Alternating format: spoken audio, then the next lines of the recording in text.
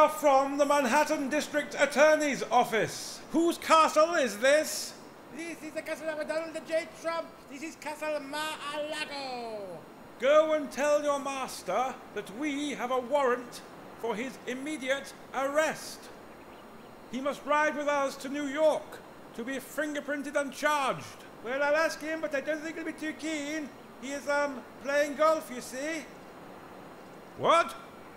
He said he's playing golf. Are you sure he's playing golf? Oh, yes, quite sure, thank you. I told them he's playing golf. Well, um, can we come up and wait inside? No, of course not. You are New York types. If you do not open the gates, we shall take your castle by force. You don't frighten us, Manhattan pig dogs. Go and boil your bottom, the son of a silly person. I blow my nose at you, so-called district attorney. You and all your New York kniggets.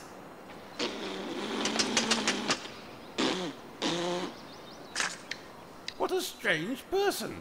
Now look here, my good man. I don't want to talk to you no more, you empty-headed Soros food trough whopper. I fart in your general direction. Your mother was a hamster, and your father smelt of elderberries.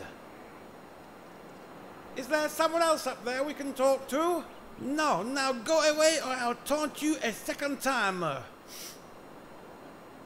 This is your last chance. I've been more than reasonable. Fetch a vache. Fetch vache. If you do not agree to my commands, then I shall take.